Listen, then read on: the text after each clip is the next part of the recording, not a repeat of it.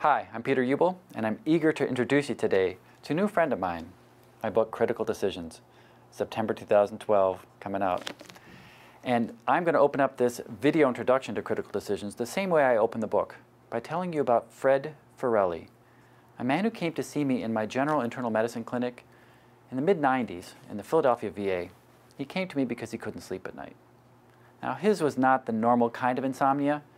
He couldn't sleep because he couldn't decide what to do about his prostate cancer. He had just been diagnosed with a localized cancer. It was just sitting in his gland. He'd met with a urologist and found out he had three treatment options. He could have the surgeon remove the whole prostate gland, the tumor be gone. He could go to a radiation oncologist who would beam the tumor away with radiation beams.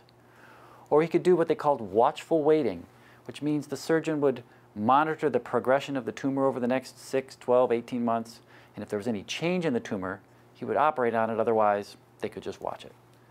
Three choices which he understood very well, but he couldn't decide which one to do. They each had their pros and cons, you see. Surgery and radiation got rid of the tumor. He wouldn't have to worry about the prostate cancer anymore. But they were arduous treatments in their own right, plus they had nasty side effects. He had a good chance of being either impotent or incontinent. On the other hand, watchful waiting, no side effects, no arduous treatments, but he'd live with a tumor inside him, wondering when it was going to grow or if it was going to grow. And he wasn't sure he liked that idea either. So he came to me for my advice. Problem was, I refused to give him any. You see, I was a physician trained in the new paradigm of patient empowerment. I went through med school in the mid 80s. We learned then that medical choices aren't purely medical choices. They often involve value judgments where the right choice depends on a patient's own preferences.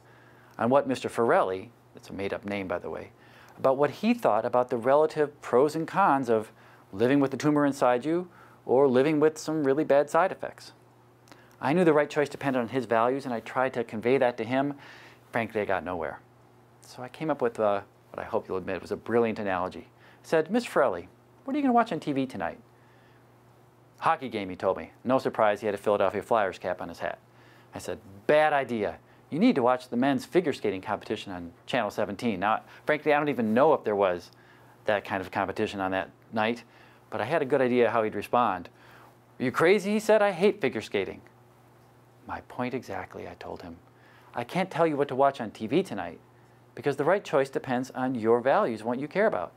It's the same reason I can't tell you what prostate cancer treatment to choose because it depends on your values.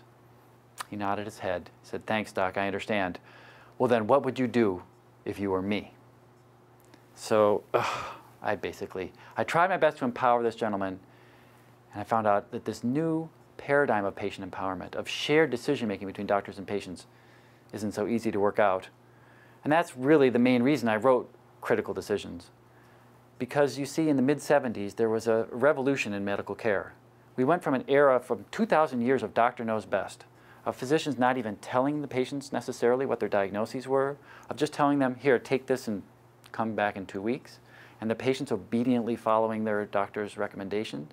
We went from 2,000 years of that to a revolution where all of a sudden the right decision lay in the minds of the patient, that we had the final say, patients had the final say about what to do. Problem with this new revolution, the patient empowerment revolution, was that we empowered patients without giving them the tools to know how to work with their doctors to make these difficult choices. And we knocked doctors off their physician knows all pedestals without leaving them another place to stand.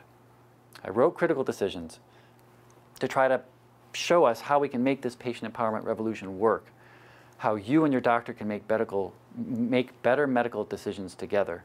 I discuss the science of how people make decisions.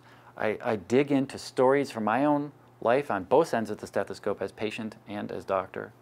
And I lay out the way that doctors and patients interact and what we can do to improve that so we can make better choices. So I will follow up with some other videos that highlight different chapters of my book. If you can't wait for the next video, I'd suggest just go read the book today. And uh, Look forward to talking to you again soon. Thanks.